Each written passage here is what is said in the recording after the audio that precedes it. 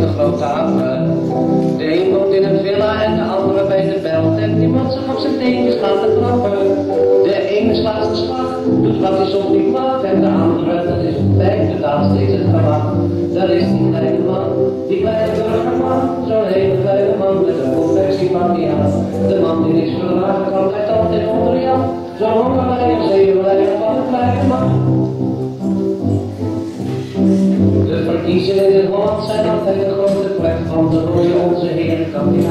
Kandidaten. Welke uitschelden van leugenaar, verschotting enzovoort, zoeken gaatjes ongift als uitgelaten.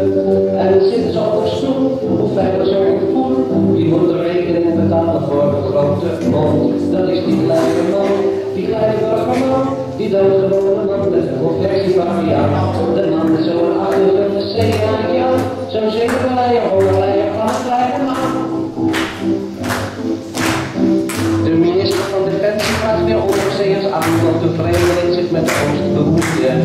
En als wij die vlotten hebben en dan komt een beetje mond, kunnen wij in de Amstel mee gaan roeien.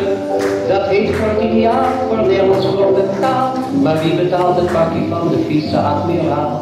Dat is die kleine man, die kleine burgerman, die doodgewone man met een confectiepakje aan. Zo'n ordinaire man van die schoentjes aan,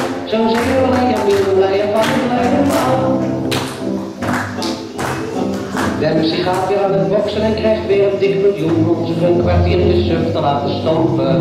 En zijn tegenstander als die wint een half miljoentje meer, want die kereltjes die laten zich niet lopen.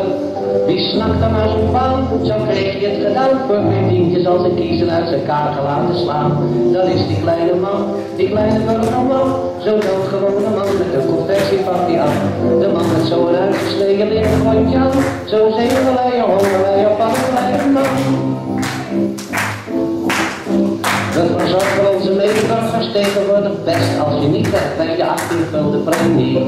En dan zijn er veel slampappers die zijn liever lui dan moe, want die denken oh die 18 pik die neem je.